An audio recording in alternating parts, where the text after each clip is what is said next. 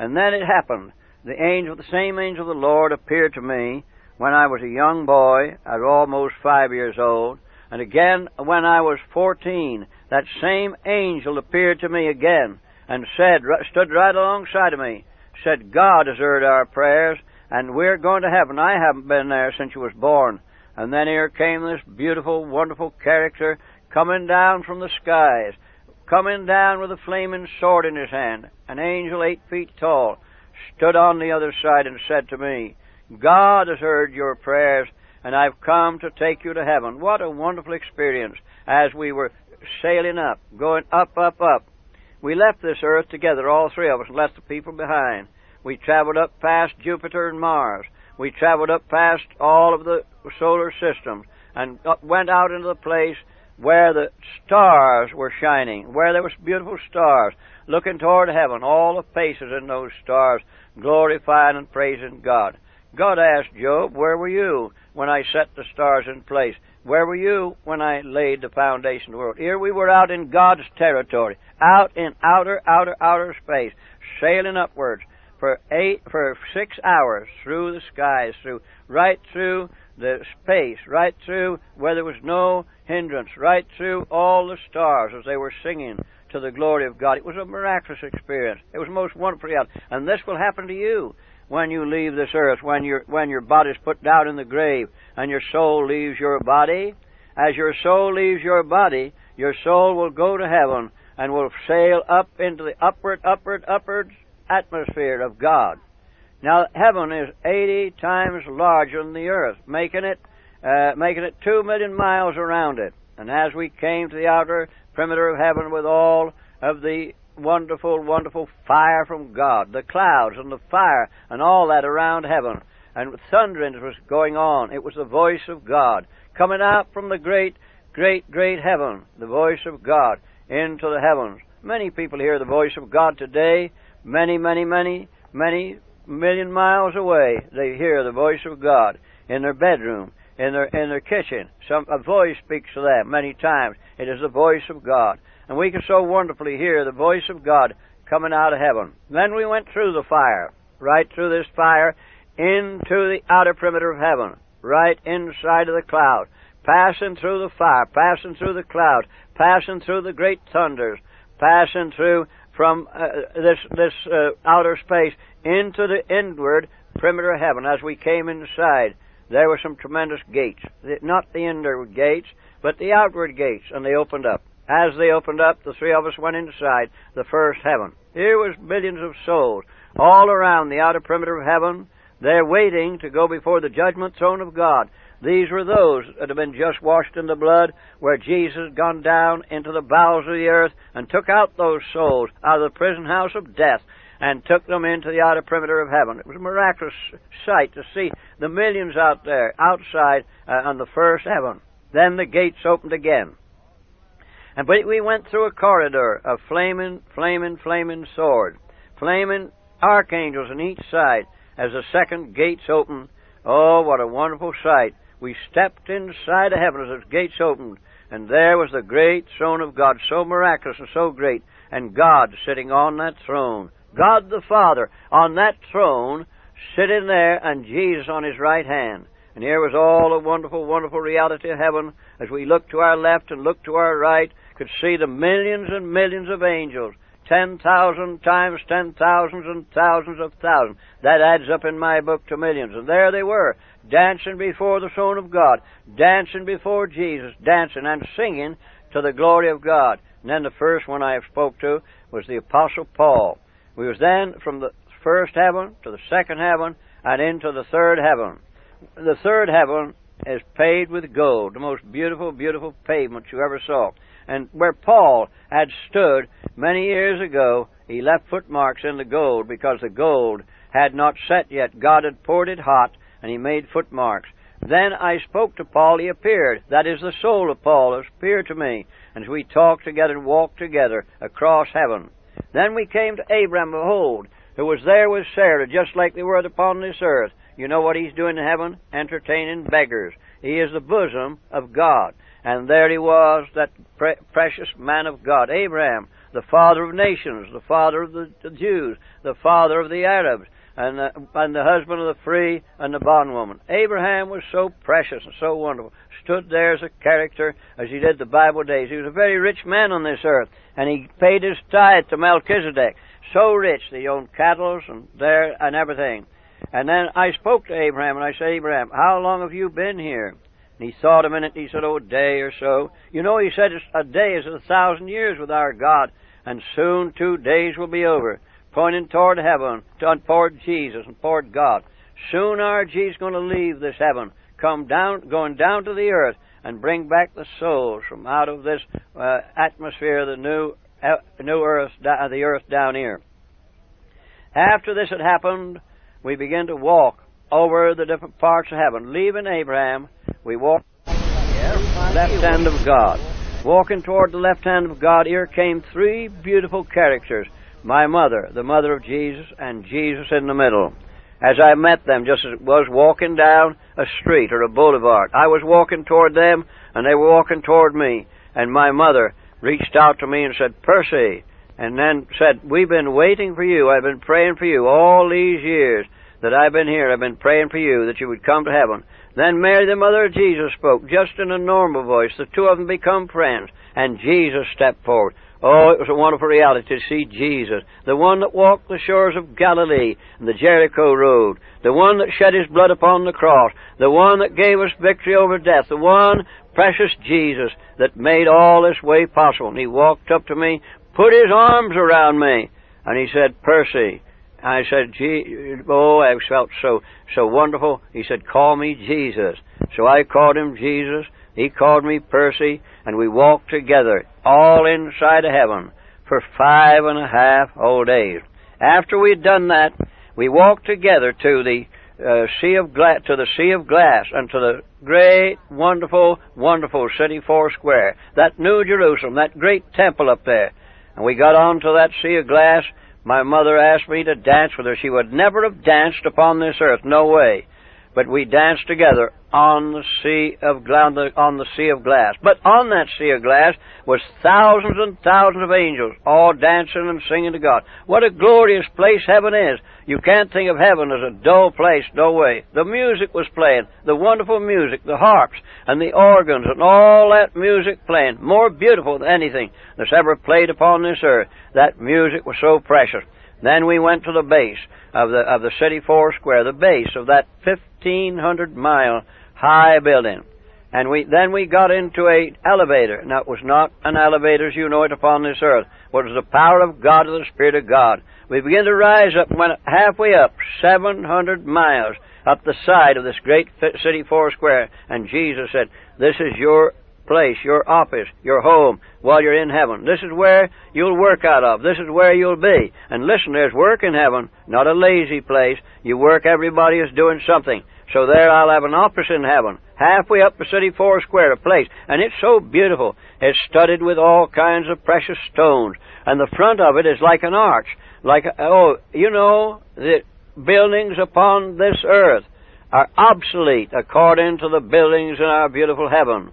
And as we sat inside, talking inside of the of my apartment, my apartment in the city four square. Then after that, we went on up the other 700 miles until we came to the top of the city, the top of the city of God, the top of the city four square. We could look down uh, from the top of the city four square. We could see the top of the temple because the temple is exactly a thousand miles high. Fifteen, therefore, it acts like a spire or or a part of the temple. There you can see that great temple down there, thousand square miles of seating capacity.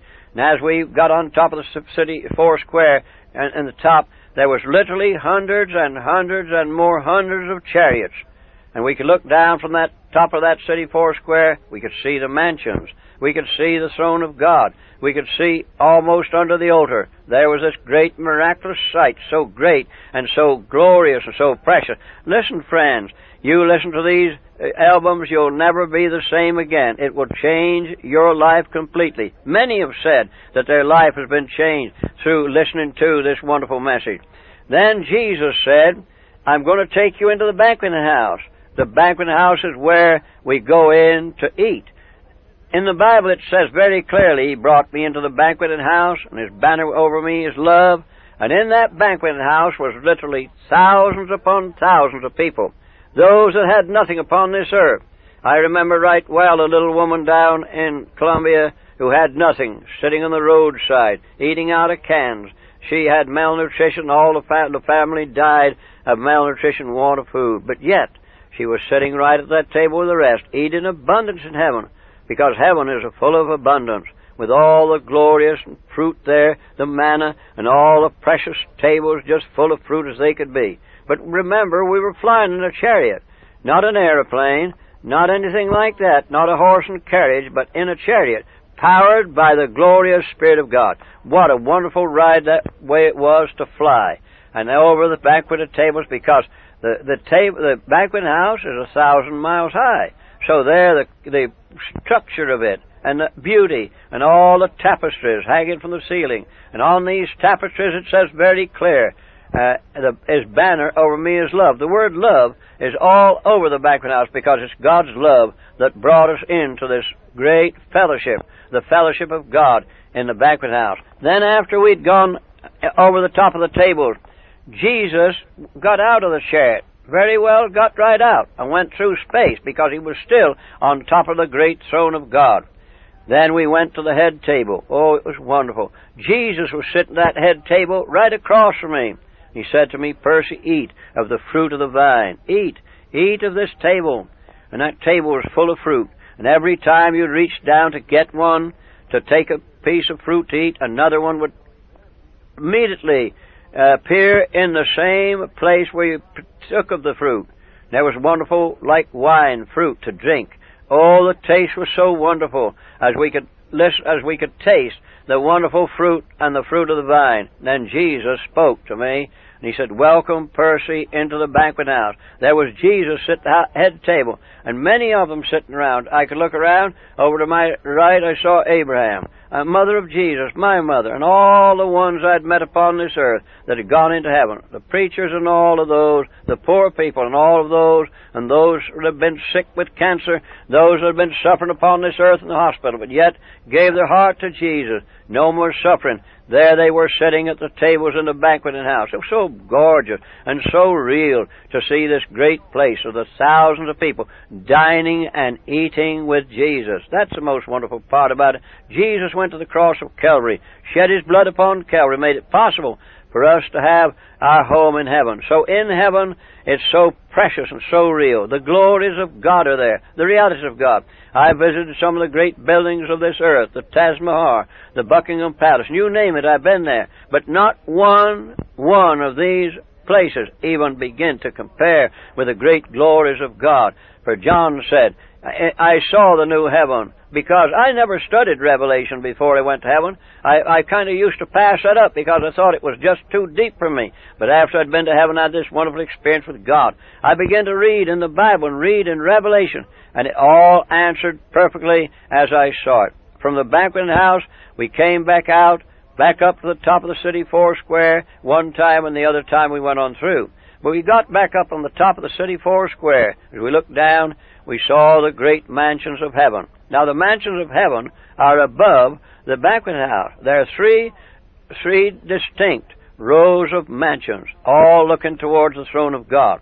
And so back again down until we came to the walk before the throne of God, a glorious, glorious walk before the throne of God. And there was the mansions all facing the throne of God. But the first row of mansions was down a little bit. The second one was higher, and the third one was higher, acting like an amphitheater. So each one could look directly into the throne. Now, as we came down there to this wonderful boulevard, we began to walk together. Jesus, my mother, and many others walked with me before the throne of God, before the along before the mansion, where those souls of those that have been great soul winners upon this earth, there they were all living before God, before the throne of God, waiting to entertain their souls. Now, many of them entertain their souls already because they won them to Jesus, so they, therefore, they have a wonderful time with the souls they won because they were telling them the gospel truth and they won souls. Now I was walking along that mansions. About the first one I met after three mansions down was Smith Wigglesworth. Now I knew Smith real well. I held his oil bottle for him in California, Oakland, California, in not too big a tent, just a little tent, but he was a great man of faith. There he was inside of heaven. He didn't have any derby hat on or any of the clothes, but he was dressed in the beautiful ma- mantle of God. Oh, how beautiful are those clothes if you could just see them. If you could just see uh, Gypsy Smith, if you could just see Aimee McPherson, if you could just see Catherine, all these ones who were great soul winners. There they were in their mansion before God, dressed beautifully in the most beautiful, beautiful um, heavenly clothes you'd ever saw. And going along further, I remember the black man I saw, Bishop Mason of the Church of God in Christ. There he was in his mansion. There he was so real, sitting with the rest of them, on down to his moor. Dr. Ham and I went and we walked. Well, so many I recognized that had taken over their mansions in heaven and that were being being made ready for their time of their reward. So I asked Smith Wiggles, I said to him, What are you waiting for here? Everyone, I said, I'm waiting for my body. We're all waiting for our body to come up here because there's going to be a resurrection. My body's going to come out of the grave, going to come up to my soul, and we're going to live in this wonderful, precious place forever and ever and ever and ever. Can you imagine a place where there's no death, no death at all, living for eternal life in heaven with God the Father, Jesus the Son, and the Holy Ghost? And to see the archangel then going along in front of those mansions, we came to this beautiful brazen altar, the golden altar. If you ever saw the golden altar, you'd never be the same. The golden altar with the cher- cherubims, the seraphims, and all on that glorious, beautiful. When I say it's a golden altar, it's actually the most glittering gold you ever looked at. And on that, on there is the, is the sacrifice on the altars of sacrifice, the golden altar of sacrifice. This is where you are lay when you come to the altar and you accept Jesus as your Savior, and you lay it on the all on the altar. It's the golden altar that accepts your sacrifice of yourself, that you might be, be saved and ready for heaven. And then next to that golden altar is the is the brazen altar. Now can you imagine two altars with a great big passageway between them? And right onto on that brazen altar is just an altar of fiery hot coals, because the throne of God, God's a fire, and here's these throne, oh, so miraculous are these wonderful, wonderful, wonderful white hot coals. And Jesus did something for me twice. He took his fingers, he didn't need tongs like they did back there for the prophet. They had to use tongs for the prophet when, when the man, the prophet, had it. Took tongs and picked them. Jesus took his bare fingers and picked up this hot coal. Percy said, Open your soul mouth. And I swallowed fire. Now, how could you be, ever be the same when you swallowed fire, the fire of God in your soul? How could you ever be the same? That's why I'm 83 years old, going to tell this message to the world. After that, so after that hot coal was put in my throat, we began to walk together around the different places, walking here, and we could see right under this passageway between the golden altar and the brazen altar. In there, right in under the throne of God. And here was pouring out of there the Spirit of God. It was a wonderful sight if you could see, stand there and see this regular, regular flow. Kind of reminded me of an irrigation pump in the fields where the irrigation pump moves and flows. Here was the power and the Spirit of God flowing out from that regular pace into the into the sea of into the crystal river, into that river, and that river was flooding right into that river was filling up, very very deep, very wide, filled with the Spirit of God, and that river is getting full. Now at the foot of those floodgates, uh, I mean at the foot of that great river, there's the floodgates. These floodgates are shaking. The Spirit of God has been pressing against these floodgates for many years. Not too much has been seeping out since 1906, but enough to stir the world to make people realize there's a God to get up and preach the gospel. Then after that had happened, this wonderful, wonderful, wonderful, wonderful walk by the river, we came to the floodgates. They were shaking. Jesus said, Very soon, my Father's going to open the floodgates.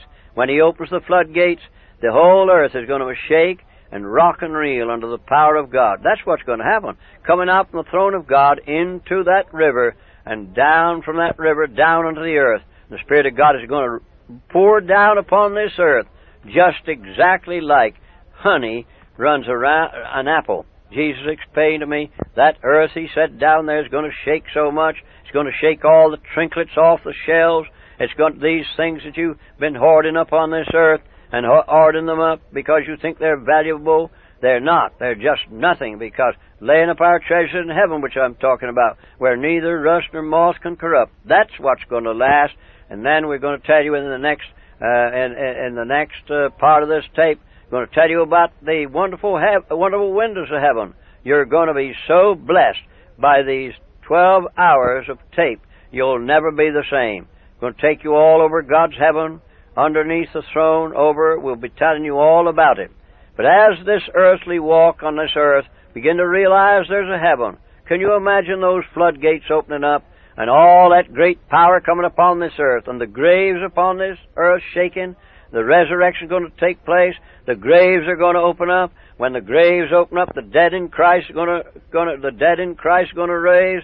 We that remain are be going to caught up to meet the Lord in the air. It's going to be a miraculous time. And, but here's where we're going to go. Up to heaven, a 12-hour journey, right into heaven the same way as I went. Oh, it's going to be so miraculous stopping at the wonderful, wonderful, wonderful, wonderful, wonderful, wonderful, wonderful, wonderful, wonderful, wonderful, wonderful, wonderful banquet. That banquet in the in the heavens, in the space, where Jesus is going to come out of heaven. The bride's going for his bride, and we're all going to back into heaven together. Friends, you must, you must, you must, you must, I say you must, change your life. If you're not changed, you'll never be the same. God bless you. He's a great God. He's a wonderful God.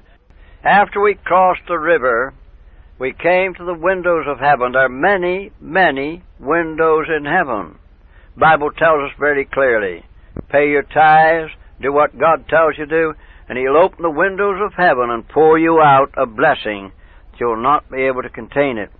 So then we stood at these windows, and Jesus put His hands upon my eyes. He said, Percy, look out into eternity. This is where my father and me came from. Looking out through those windows of heaven, you could see millions of miles out there into eternity where God came from with His great creation. What a wonderful, wonderful reality it was to see all the way out into eternity. Can you imagine? Looking into endless eternity, that's what I did with Jesus. The great created God, where He created all these great, great, great, wonderful, wonderful planets and come to heaven to prepare heaven for us. A heaven 80 times larger than the earth. As we looked out of those windows, Jesus said, These blessings here are for the people down upon this earth that pay their tithes. Then he took me to the next table, and the next table, and the next table. There was a sacrifice offering for people that made a sacrifice, that they would get blessings for sacrificing to the Lord. But the most wonderful, wonderful, wonderful window was the offering of prosperity. If you give an offering and expect to prosper, that's where you get the great blessing by giving willingly, lovingly into the prosperity offering. What happens is this. When you give into the prosperity, prosperity offering, you automatically become prosperous. Now that's wonderful. Then there's the heave offering and all these different offerings, the love offering, the heave offering, the sacrifice offering. And we saw all this offering. If you could see the great blessings stacked up on the table and what God was blessing the people upon this earth because they give to His wonderful, wonderful, wonderful work. Now, after we crossed back over the river, we first walked down the side of the river. And Jesus said, Stop, Percy. He picked a piece of fruit off of that tree and told me to eat it, and I did. Then the next tree down, he picked a large leaf off of that tree. He put that leaf on my breast. He Said, Percy, this is for the healing of the nations. Go out and heal the nations and tell them about me. And I've been now practically all over the world carrying this message, but in heaven there's none what one part of this earth that is like heaven. Can you imagine a place so beautiful, so great? And as we looked back, we saw heaven's gate open up. And here came souls in, been born again, somewhere down over this earth, maybe a revival or someplace. several of those souls coming inside of the heaven that had been born again and that had, had gone to be with Jesus. They come inside of that heavenly gate, and as they come inside the welcoming part took place, the bells over the top, top of God's throne began to ring. They rang out with joy because the souls had come into the altar, come into the Lord. The souls upon this earth had left the demon powers of the devil and had come in to be with God. What a wonderful sight. Then we walked around God's heaven, walking different places. But we came to a wonderful part. We came to underneath the altar. This was a touching sight, under the altar of God. As we looked Jesus, we looked all, several of us underneath, and there was literally not thousands, but millions of souls under there praying because they'd been martyred and suffered, martyred for the gospel of Christ. They'd been suffering uh, on this earth. The early Christians of Rome was under there. Was a massive crowd, all praying the prayer, How long, O God, how long, O God, will it be before we revenge of our enemy? I went underneath the altar of God with them, right underneath, to pray with them to see all of those souls under there just praying to God, the ones that have been martyred, the missionaries been martyred. Every day they come out to worship God, come out to worship God, and God gives them a special blessing because they gave their life for the gospel. They gave their life on the mission field. They gave their life many different ways. And as we prayed with them, it was wonderful. What a wonderful power it was. Then we went to the other side of the altar, and there was 10,000 miles of garden. Beautiful garden with trees and everything. And inside this garden was, was all the thousands of little children. Many of them been aborted. Many of them died before the age of seven. Playing there in that garden. Because Jesus blesses those children in heaven every day as he did upon this earth. For he said, do you remember the words what Jesus said, In my Father's house are many mansions? For not so I would have told you, I go to prepare a place for you. Also said, Suffer little children, forbid them not, for such is the kingdom of heaven. And that's exactly true. The kingdom of heaven is full of little children all over the place, dancing, playing, singing, that been died at the age of two, three, or whatever. Many of them died in the 13th century, long in there. Absolutely grown up to the age of seven or eight, dancing before God, before the throne, going about heaven with a smile upon their face because they're being blessed by Jesus. They've been blessed by Him. They've been blessed by God's wonderful love. They've come from this terrible condition upon this earth into heaven. Those that died of polio, those that died of different diseases, all there, all there with Jesus, all there, all there, I say, and having a happy time in the great garden of God. And Jesus was out there, went out with me and several others, and he laid his hands upon them and blessed them. Oh, what a wonderful sight that is. Then we came back out before the throne of God again.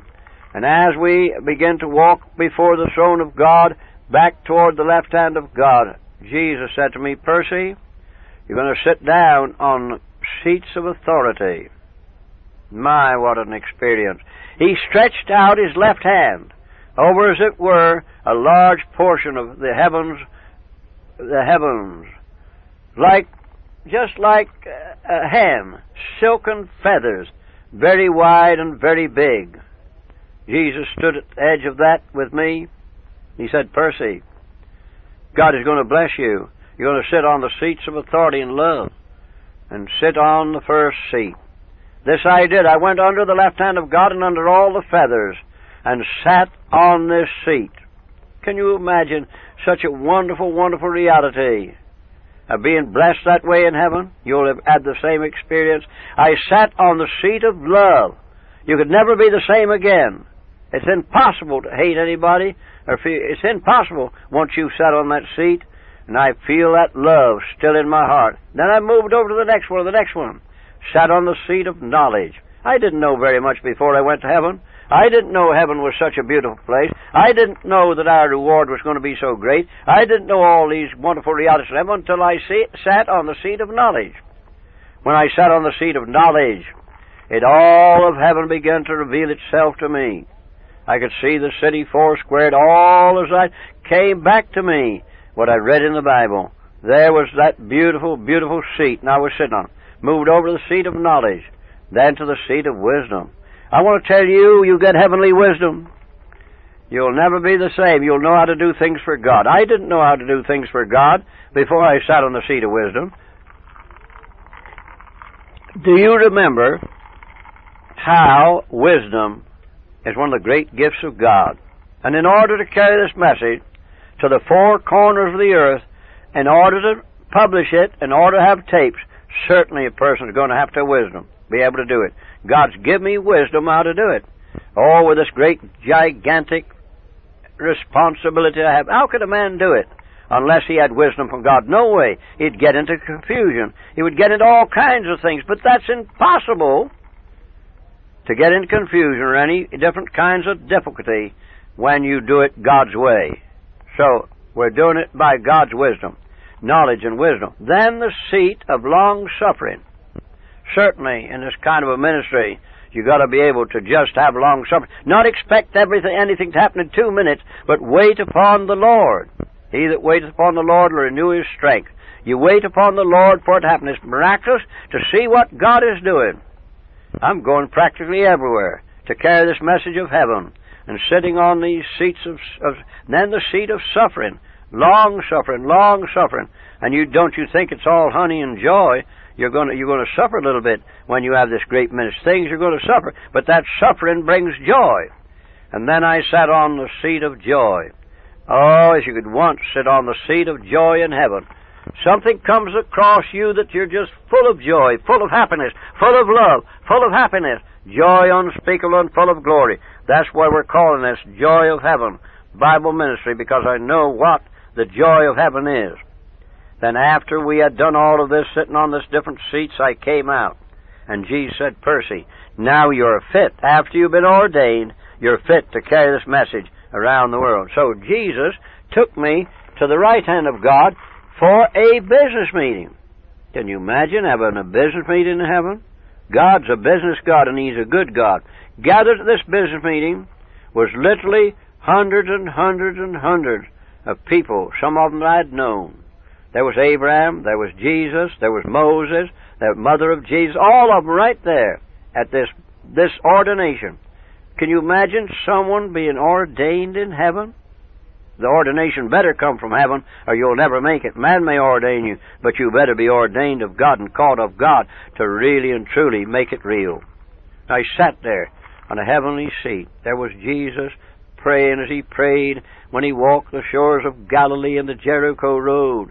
When he prayed for the sick, and he said, Percy, we're praying for you. And there they were all around me, looking at me, the prophets, and all of them looking at me as I was in the midst of them, being ordained to carry this message to the four corners of the earth. I've attended many ordinations. But unless that ordination comes through the Spirit and the power of God, you're just not ordained. You may be ordained by man, but you better be ordained by the Spirit. And I really got a wonderful ordination by the Spirit of God. Then after we went traveling around God's heaven for five and a half days, can you imagine? Traveling around with Jesus all over God's heaven for five and a half days—you've got really something to look through. Heaven has one of the greatest orchestras in the world. I've seen orchestras of all kinds. I've seen them at the Crystal Palace. I've seen the orchestras of the different world, the Marine Band, and you name it. I've seen most of them. But can you imagine? Now try just to conceive with your mind, with your a million or more playing instruments. I said a million.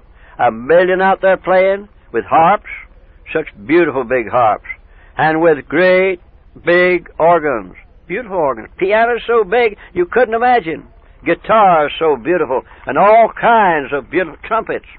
Well, there's no man can blow a trumpet on this earth like the angels and gods blow them in heaven. Impossible. When the trump of God's is sounding, it's the most miraculous sight you ever saw. All over God's heaven, the trumpets blowing. Trumpets in Zion blowing. It's such a beautiful reality. Angels blowing, men blowing. Whatever instruments you blow down here, you'll play it in heaven. And I sat in the midst of that great orchestra and heard that wonderful music. Now, there's no time in heaven. You don't give a beat in heaven. It's just continuous sound and continuous glory of the glorious, wonderful music of heaven. And then what, what do you think happens? The angels sing. The angels are the most wonderful singers you could imagine. I've heard choirs upon this earth, big choirs. I heard a choir once of almost several hundred. But the choirs in heaven, literally thousands singing together, the angels, singing in that wonderful heavenly voice. Oh, how gorgeous it is. You'd want to sit there forever, just ever, because you're going to be there forever. You'll want to sit forever and hear the angels sing. But we join in with them. That's the most wonderful part. And I saw the new Jerusalem beside the temple stood. If you could hear that, all that beautiful, and you know what they're singing? Holy, holy, holy, Lord God Almighty in the heavenly language. And then as the music stops and God begins to reach forth His hand and stretch His great hand over that great orchestra and blesses them every day. Every day this happens as God listens to the music. And then I want to tell you how the prayers go up before God. You may ring a, an emergency number, number. A good number to read is J-E-S-U-S. Jesus is the chairman of my board upon this earth. We have a board here, we're down here, but Jesus is the chairman of the board, and that's a good one to have as chairman of the board, because he'll never go wrong. Never. And then we begin to uh, go along further and further and further as we begin to organize into the glories of God. Then we saw this great record, record book, record book. This book was so great and so big, laying before the altar of God, not far from the brazen altar. This is where your name's written in. This was called the Lamb's Book of Life. Jesus shed his blood upon Calvary, and he shed his blood that you may your name be written in the Lamb's Book. A great big Bible, I mean a great big book, so big you couldn't imagine how big. And Jesus is the lion of the tribe of Judah. He's able to open that book. And he said, Percy, I'm going to show you your name inside the book. Oh, what a wonderful experience. My name's written in that book. I'm a registered member in heaven. I've registered in many of the hotels. I've registered in all kinds. And that doesn't mean much, but my name is registered, registered, I said registered, in the Lamb's Book of Life. And Jesus took his hand and opened that book right to the very page. He said, Percy, here's your name. Oh, to imagine your name written in the Lamb's Book of Life. And I'll tell you, no man can take that out once it's there. It's inscribed in that book. And only, and I, I tell you, I don't think many people ever get their name removed, but it's glorious. And thousands and millions of names in that thick book, one after the other. Here come maybe John Jones, or all kinds of names, right on down the line, until he put his finger right on my name, right in the Lamb's Book of Life. This is records, my friend. This is a recording book that no man can change. They cannot change what God has done. What God has done, let no man put us under. Then we were there, we were there watching the prayers going up. The prayers going up to heaven. Now when you pray, you pray to Jesus and you got immediate answer. But then you got to remember that there's the prayer of intercession, the prayer of, of travail, which God listens to. The prayer of intercession. Jesus answers the prayer, the emergency. He's the one who takes care of the emergency. But then you've got the prayers of intercession, you've got of of the wonderful, wonderful travail. You remember Daniel back there, Daniel in the book of Daniel? He prayed and waited for the prayer, and the prince of Persia got messing around and tried to hinder that prayer. But now we're living in a different, different age. Jesus went to the cross. He shed his blood upon the cross. And he said, when you pray, say, Our Father who art in heaven. Here come heaven again. You pray. So we now pray to the Father in Jesus' name. So then these prayers go up on, onto the altar of God. There they land there, like an incense millions of prayers of the whole earth landing on the altar of God. When they land on there, and they finally end up on the brazen altar. When they do, they become like incense, like steam, just like you can see it, like just like a misty spirit. Then they rise up and go all the way around the throne of God's head. All the way, that's why you can't see God's face. A lot of people don't realize that. Those prayers are all around God's face, and He's listening to them. Now, God is omnipotent God. He can listen to a million things at one time, and He's listened to all the prayers of the earth. Then, after He's done that, He sends the answer back down. You may be praying for harvest of souls. So it, God has to be the one to let it happen. And then you pray to move the devil away. God, while He's doing that, He's destroying cancer for him. He's destroying sickness. He's destroying all these things through these prayers.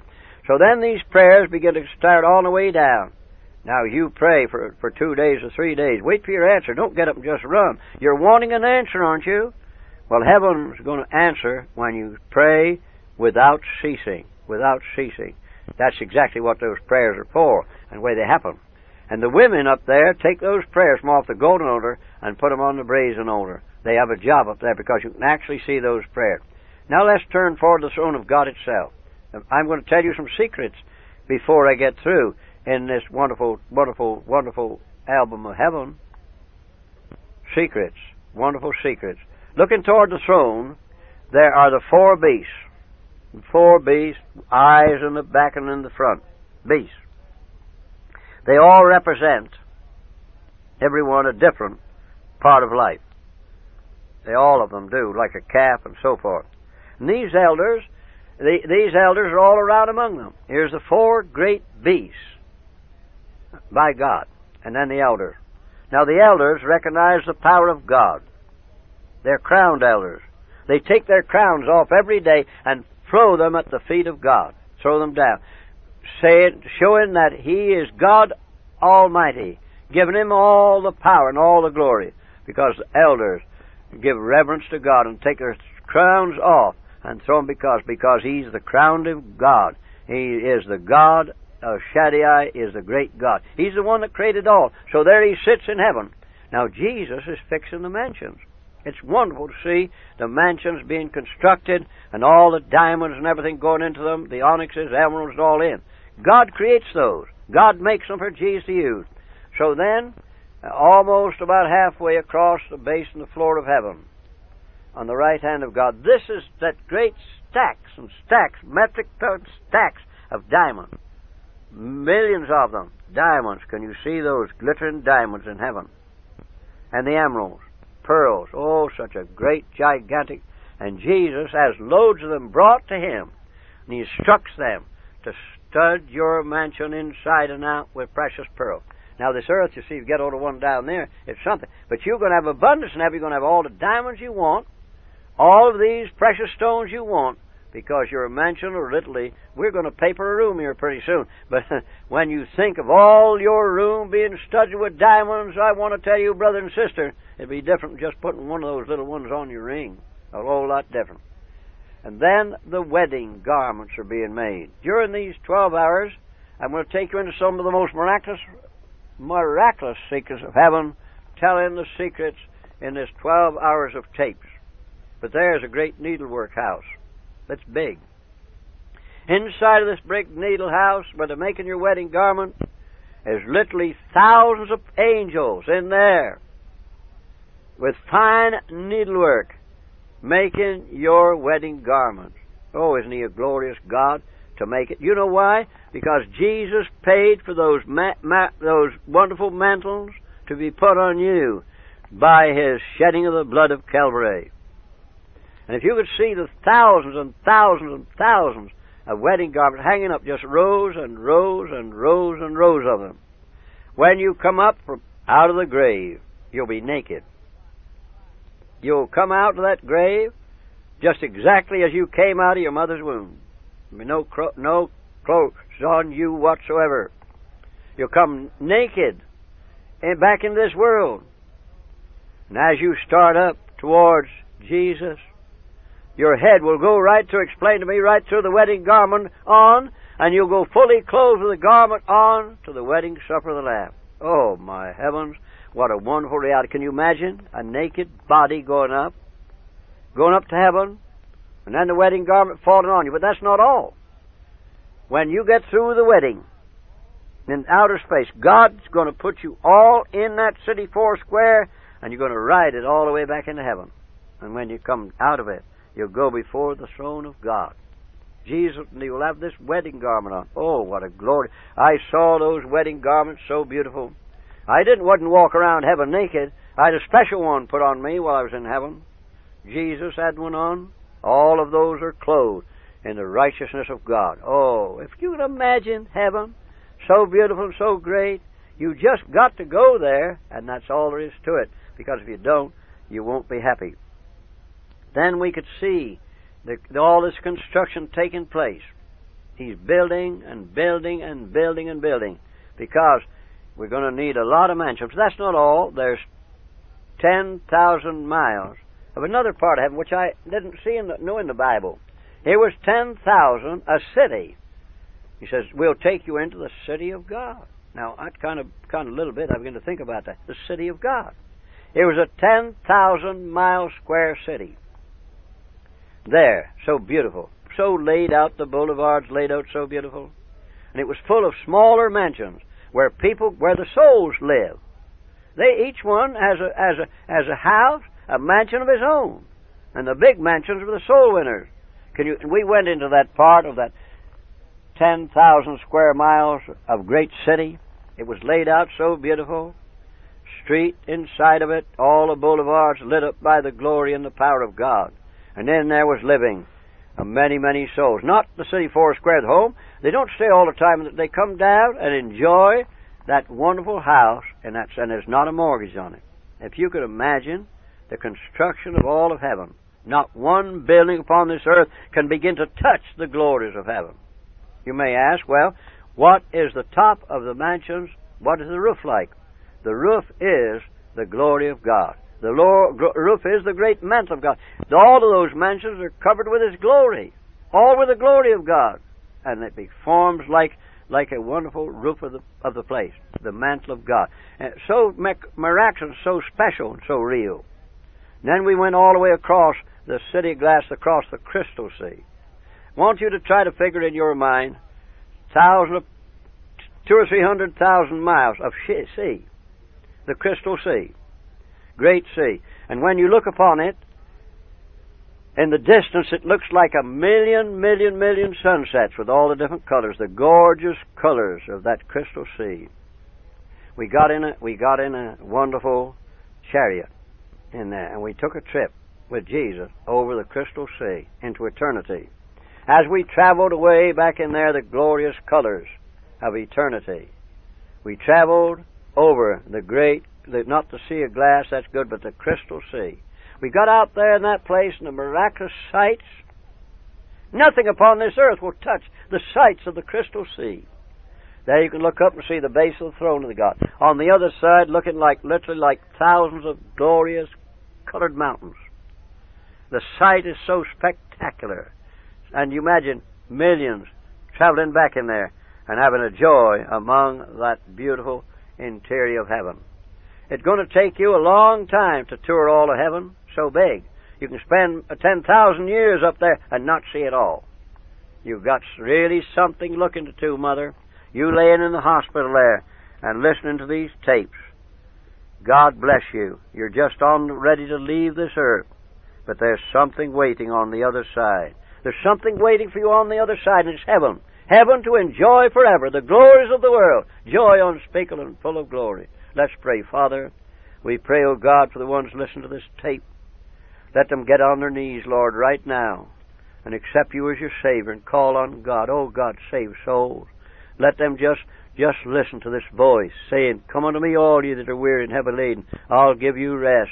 I want to be in heaven with you. God bless you. God bless you. God bless you is my prayer. More of heaven on the next tape. God bless you. I love you. I love you very much. May God bless you is my prayer in Jesus' name.